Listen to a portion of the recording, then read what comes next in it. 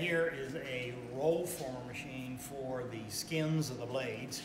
And this machine here was built 100% here on our facility. This is not a machine you can go out and buy, so this is something that has to be built for specific use.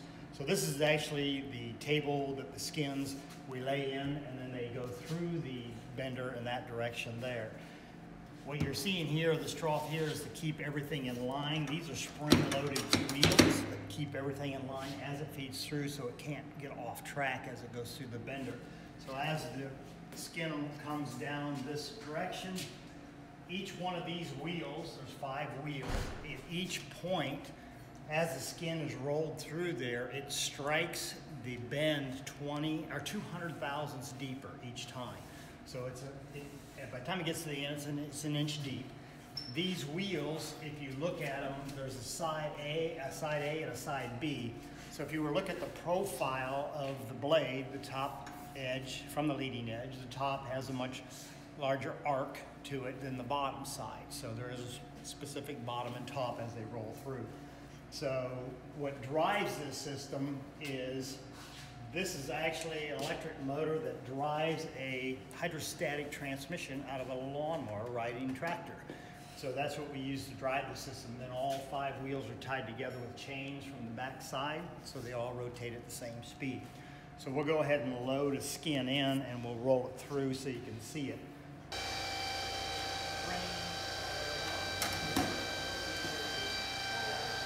I'll try to not go too fast so you can yeah. see it it's ready to feed into the first one.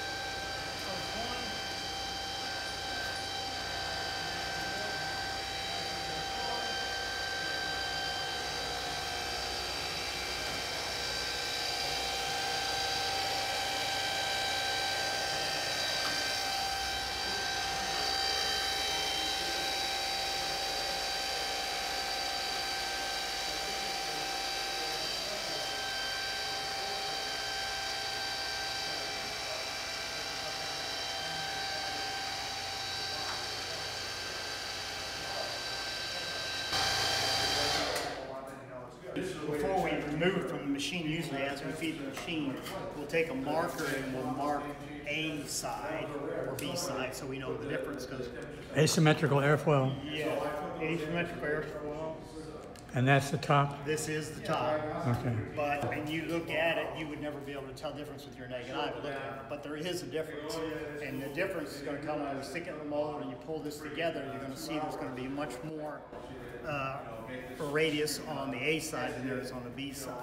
And just by looking as it comes out, can't tell. you can't tell the difference. And it's critical to do that before it comes out of this machine because when we go to the next step, we have to know what side is down to actually bend the reflex. So the, the next roll former is actually what it's going to do is it's going to bend this little reflex on the trailing edge of the blade. And this is a specific angle that it has to be at. And this is what, uh, as the blade flies through the air, you use your reflex to move your center of pressure either fore or aft on the blade so that the blade is can be easily flown. So getting the right amount of reflex is an important thing. So this next machine, that's what it's going to do is bend that reflex on there. Four drive wheels. These are actually wheels off of a off of a skateboard that uh, we've put inner tube over top of to give us grip. So the skin will come in and these this will pinch the skin and drive it forward. This one will pinch it and pull it through. Then these wheels here, if you look on the bottom, which is very difficult to see, that's actually, we refer to it as the knife. That's the piece that's actually making the bend. So in this case, we're striking the material twice. We're gonna bend it about 10 degrees the first time and about 12 degrees on the second one. And then this here is the die that the, that the bend rides in as it comes through. So we'll go ahead and load a piece in and we'll run it through. Now this particular machine is driven off of a, a, off of a DC motor and it has much reduction to it. We also have a speed controller here as well so we can control the speed, how fast it goes through, forward and, in reverse. And as you recall, the, the top side of the skin was marked A as it came out of the roll former. That's the side that goes down because what we want is the reflex bent on this side only. This side folds into it, but this is the side that actually is gonna get bent. So we're gonna load that in with that side down. And as you can see, it comes forward. So we get to our drive wheels here, and then we'll start the machine up and roll form that the or reflex edge on there.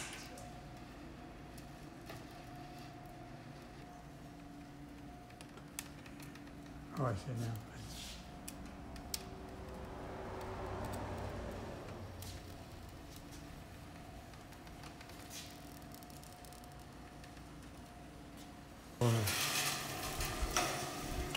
as, as uneventful as that seems, it is really, really critical that that bend has to be bent as much as it is and exactly where it has to be bent. So it's, it's a big process. So This is what you get.